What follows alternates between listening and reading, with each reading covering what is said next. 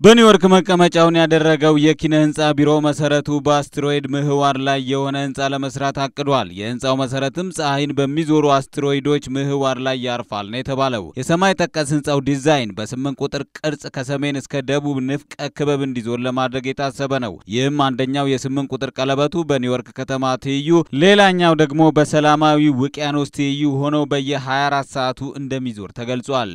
የህንፃው ዲዛይን ባለቤቶች እንዳሉት አናሌማ ታወር የተባለው ይህ ህንፃ ሲገነባ በዓለማችን የመጀመሪያው እጅግ ሰማይ ጠቀስ ይሆናል ተብሏል። ህንፃው ከፕላኔቶች ጋር የሚመሳሰል ወጥ የሆነ ሽክርክሪት የሚኖረው ሲሆን በጣም በከፍተኛ ቁመትና ከመሬት በራቀ መልኩ በራሱ የህዋ ስፍራ ላይ ነው የሚመሰረተው። የንድፉ ባለቤቶች ህንፃው በመሬት ላይ የሚሰሩ ቤቶች ያልተፈለገ የኪራይ ዋጋን መቋቋም ያልቻሉ ነዋሪዎችን ታሳቢ ያደረገ ነው። ለመሬት የላይኛው ክፍል ቅርብ የሆነው የህንፃው ክፍል ለተለያዩ ቢሮዎች፣ ከዚያም ቀጥሎ የግብርና ስራዎች፣ ከዚያም የህንፃው ሶስት አራተኛ ክፍል ለመኝታና ለመኖሪያ ክፍል ታቅዷል። ህንፃው አሁን በመሬት ላይ ያሉ ሰዎች ከሚያገኙት የቀን ብርሃን በተጨማሪ ከመሬት በብዙ ማይሎች ርቀት ላይ ስለሚገነባ 45 ደቂቃ ተጨማሪ የቀን ብርሃን ማግኘት ያስችላል። እንዲሁም ከአካባቢ ጋር ተስማሚ ሲሆን የጠፈር የኃይል ምንጮችን ይጠቀማል። በቀለሙም ከውሃ ጋር የሚመሳሰል ነው ተብሏል። ህንፃው ሲገነባ በውስጡ የሚኖሩ ሰዎች ውሃን ከደመናና ከዝናብ የሚያገኙ ሲሆን ቆሻሻ ውሃን ወደ መሬት ወይንም ወደ ቀሪው የውሃ አካል የማይለቁ ሲሆን መልሰው የሚጠቀሙበት ስርዓትም ይዘረጋል። ሆኖም የህንፃው ዲዛይን ባለቤቶች ሰዎች ከህንፃው እንዴት እንደሚወጡና